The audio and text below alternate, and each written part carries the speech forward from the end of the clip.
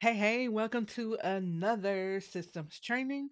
I am Jenifer Jay, and today we are answering the people. Okay, so I got to get my phone. So today we're going to answer a question that someone asked me, and we are using Go High Level. So if you want Go High Level, click the link below and get your 14 day trial to go high level. It'll be uh, $97 after the trial. You can upgrade to 297 but i always recommend you do 297 so that i mean i'm sorry i recommend you do $97 so that you could get used to the system and understand how to work it and then upgrade and live your best life. Or you could just stay at 97 and do you and rock out while everybody else is paying all of this money for all these systems. And you have one system, one login, one goal, and it does everything. So go ahead and check Go High Level out, but that is the system that I am using. So this question is specific to Go High Level, and it was from a Go High Level user. Why? Because Go High Level is the bomb. Okay. All right. So here is the question Hey, Jen, how do I make sure that I get a notification when someone has replied to an email from the automation? Okay, so we are going to go over here in our system and we are going to set up this automation uh from scratch. So let me get my life together over here. All right, so this is the Go High Level platform. This is my training platform, so there is no data in here other than what I've put in here um, training. All right, so we're going to go over to automations on the right hand side. Let me get rid of this. I am so sorry. Yes, and I want you to stop coming back. Okay. All right, so we're going to click on automation. And we're going to create a whole new entire workflow. Child, let me put my glasses on. All right, so we're going to click on create workflow in the top right hand corner, the big green button. And then we're going to click on start from scratch. And then we're going to click to create new workflow again. So what we're creating here is the actual email workflow. So we're going to click on, I'm going to name this email workflow reply event training. So I know what this is when I come back in my system. Like, what is this that's not in a folder? Okay, so we're not going to add a trigger. We're just going to dive in. So the first thing we want to do is add an email. So I am going to click on send email. Make sure that you set your from and your from name and your from email and a subject. So I'm going to say reply event test.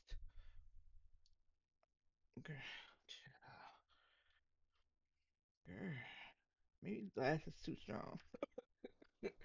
All right, so I'm gonna create an email just for this video. Reply to this email with your thoughts on our system. Bam. All right. All right, I'm gonna save that action and I'm gonna save um here. I forgot to name it. I always name my steps. Reply event email. Okay. Save action. Save again. Okay, the next step we're going to set is a wait step. So we're going to click on wait. So we're going to click the plus. We're going to click on wait. And what we're going to wait for is a reply. So we're going to change the wait for option to a contact reply. So with the contact reply, we want to tell it which step are we waiting on a reply from. So we're going to click on the reply to drop down and it will give you any steps that is above this um, wait step. So we're going to click reply event email and save action. And so now I'm going to go back in here and I'm going to create a timeout. So what a timeout is, it, it is saying if the person doesn't do the action above in this time frame, please move to the next step. So again, please make sure that you have a strategy set for this before you get in here and do it. So you're going to say, um, and based on the use case, that's what, what you would say here. So if this was an aggressive, I need you to reply now, I need you to reply within 72 hours, whatever the case may be, um, I would say reply and then time out. If they don't reply in an hour, I need to know. So then I'm gonna hit set and wait. I'm gonna name this. I'm sorry. I'll be quick to say. so wait for reply. And then I put time out one hour. Now you could do this one day, five days, whatever you want to do. Just make sure that it's in alignment with the strategy and the goal that you're trying to achieve here. All right, so reply event email, wait for timeout. Now, the next step would be to create a condition because the question was, how can I make sure I receive a reply? All right, so I'm gonna click the plus sign. I'm gonna go down here to the if else condition, and I am going to click on the if else. So now with the if else, I'm going to change the word condition to my question. Did the customer contact lead, whatever you want to say, reply and if you want that to be a whole sentence to the email, do whatever. You only get 50 characters in there in there. So um make sure that you make it make sense. But it needs to make sense for you or someone else to come back in here and look, okay? And so I am going to always change this to my positive or whatever I want the positive to be. So I'm going to put yes. Now, right here, we are going to change this to look for a reply message, not necessarily a specific answer, but reply yes or no. We're not looking for that. We're looking for just a reply. So what I'm going to do is I am going to go down to where is it? Contact reply and then I'm going to click on replied message. And I am going to change reply message to is not empty because I don't care what the reply is. I just want to know did they reply, right? That was the question. I didn't ask any further questions, but let's just say you're looking for a yes or a no. If you're looking for a yes or a no, you're going to change this to a couple things. You can do contact replied, and then this will give you the option to select yes or no. You can do intent type. Was their intent positive or negative? Or is not no, is not yes, is not empty, all of those. But we're using replied, Message is not empty. Once you get into using these, you have to be a little bit more specific, and it's going to require you to continue to come back to manage this. So, um, and people don't do what you tell them to do anyway. So, is not empty will be the best option here. And then I'm going to click save action and then I'm going to save at the top. Okay, now the next step is did the customer reply to the email? If the customer replied, then I want a notification. So on the yes branch, we're going to click on the plus and we're going to add an internal notification option. So we're going to go to send internal notification. And so internal notification, what type of notification do you want? Do you want an email or do you want a text? I don't recommend notification because that's the notification in the system. So if you're trying to get an external notification to your phone or to a specific email, you would choose one or the other. So if we choose text, let's just say we choose text. I want a text. So you're going to select text and then you're going to select the user type. So you have the options to text all the users. And what that means is all the users in your account. So whoever you have added to your account as a user, it will send a text to all of them. Um, assigned user will be whoever is assigned. So if you created an assigned event for this, it will add that a custom number. You could have this text any number. You would just enter the number here or a particular user. Now, when you do this custom number, make sure you use the full 10 digits when you put the number in here. So one and then the area code and then the number. Um now you may have to put a plus in front of that. So test that to make sure. Okay, so now I'm gonna do particular user. I'm gonna always select myself. And what I'm going to do is usually when I send a notification, like to my team or whatever, I like to do this. I always do this. I know they like, I'm tired of these little SOS, of these little siren emojis, but it's a notification, right?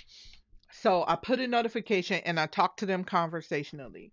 So I'll say, bam, uh, so and so replied to the email or whatever the message is that I'm going to say or whatever their next steps is that's usually what I put there um and then I always put like for me, I put PB as whatever this was. I would put PB as email workflow notification system. um, that's pretty much what I do. You don't have to do that, but that's what I do. Okay, so we have that there, and then I'm gonna hit save action. I'm going to crap stop. I'm gonna hit save, and I'm gonna change this internal notification to Jenifer Jay. Oh, internal SMS. I'm gonna put SMS. Okay. Save. Save. All right.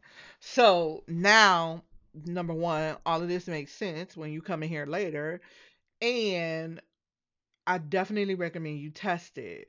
So, how do you test it? You go out, let me see, email workflow reply event. Pay attention to what the name of it is. Okay, first of all, make sure you publish it, hit save, and then go to, I'm to go back to workflows because I really want to go to contacts. And which one of my little fake contacts do I want to use? I'll use this one. Yeah, I'll use this one. I'll use this Jennifer. Okay, so I'm going to click on Jennifer. I'm going to go up to the robot and I am going to add to that workflow. So this was the workflow. They always want an action testing for the people. and then hit add to campaign. All right. So now hit OK. What email was that? All right. You just heard that email come on my phone, or maybe you didn't, cause my mic, my Shure mic, um, that's attached to Krisp, will cancel out that noise. So let's go to the automation before I reply. So what you're going to see is me sitting here, right? So I'm sitting here waiting. And if you look at the history, it'll tell you I was added to the workflow. It sent me an email. It's waiting. It's waiting for my reply. So I am now going to reply from my phone. And what I'm going to say is go high level is the most amazing software and I love working in it. I really do. I geek out on this system. Okay. Bam. All right. So I hit send. And what we're going to do is refresh. Boom. I know you couldn't hear that because, again, my Shure microphone.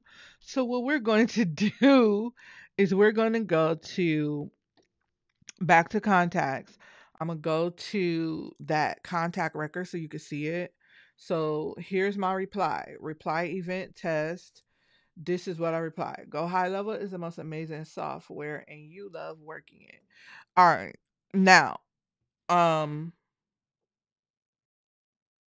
I want to go back to the automation and you're going to see that I am gone out of there and it's it's hit this already because I got the text.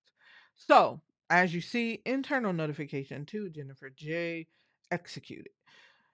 Finished. It's finished. So it sent me this and if you click on there, you can see that it went through. So the internal notification went through to this con to me, Jennifer J. Um, but I set it up as a text and the text came to my phone.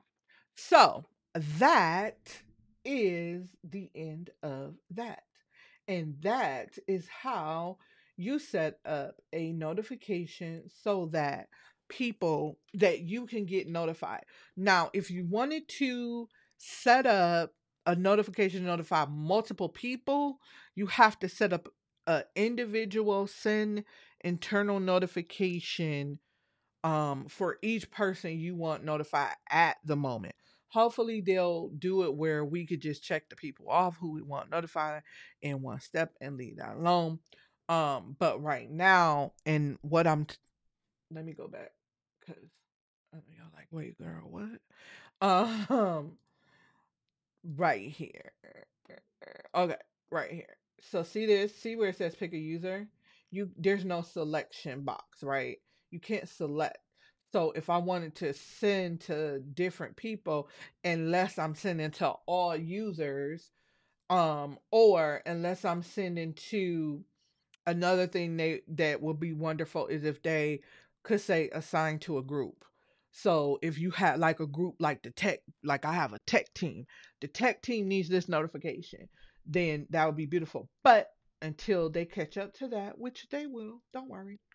Um, just duplicate this and click these three dots, hit copy, copy action, bam, go here, change that to systems team, and bam, that's really just one email. This is I set that up. It goes to an email for the systems team because they didn't have that option. So it'll say systems team, and then you could just say SMS to systems team if you wanted multiple people to get notifications. So for real, I'm done for real, for real. For real, for real, for real, for real. Y'all took it too much of my time. but hopefully this was beautifully helpful for you. If it was, go ahead, subscribe and like and follow my channel for more go high level tutorials. If there's a video, if there's a process you want me to record a video for, go ahead and drop it in the comments and I will get that recorded and up for you. All right, I'm out.